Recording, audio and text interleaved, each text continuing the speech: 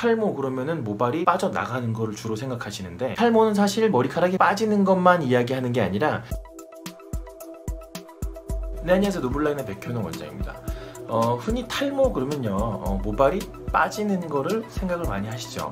오늘도 뭐 제가 환자분 한 분을 뵀는데 그분이 이렇게 말씀하시더라고요 어, 원장님 어, 이 정수리 쪽에 모발이 조금 힘이 없어지고 가늘어지긴 했지만 어, 탈모는 아니지 않나요? 이 머리카락이 빠지는 건 별로 없는데 이게 좀 가늘어진 것 같은데 이건 탈모가 아니지 않나요? 이렇게 말씀하시는 분이 계셨어요. 그렇게 생각하시는 게 당연한 게 어, 탈모할 때 이 탈자가 어, 벗을탈, 이탈하다 쓸 때 떨어져 나온다 이런 뜻의 탈자잖아요. 영어로도 hair loss라고 하거든요. 이게 모발에 손실이 생기는 그런 거거든요.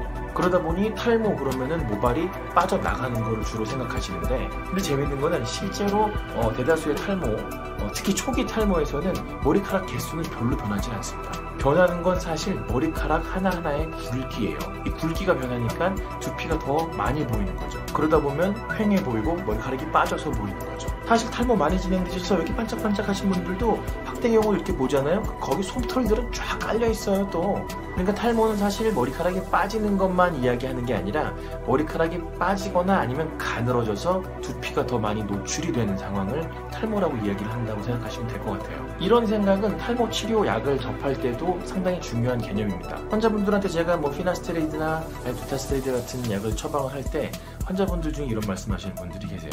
아, 이 원장님 뭐 이거 약을 먹는다고 머리가 슝슝 올라오는 게 아니라 모발이 조금 굵어지는 거 정도만 있다는데 에이 그건 뭐 효과 없는 거 아니에요? 이렇게 물어보시는 분들이 꽤 있어요. 사실 두타스테로이드랑 어, 피나스테로이드 같은 약을 드시면 머리카락 개수도 좀 늘어나긴 합니다. 늘어나기도 하는데 어, 꼭 늘어나지 않더라도 머리카락이 굵어지는 것만으로도 탈모 개선 효과는 분명히 있는 거기 때문에 상당히 큰 의미가 있는 겁니다. 그게.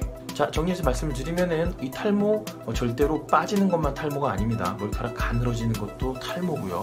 어, 이런 것들을 잘 생각하셔서 치료를 하거나 아니면은 뭐 효과 판단하거나 이럴 때 꼭 염두에 두시길 바랍니다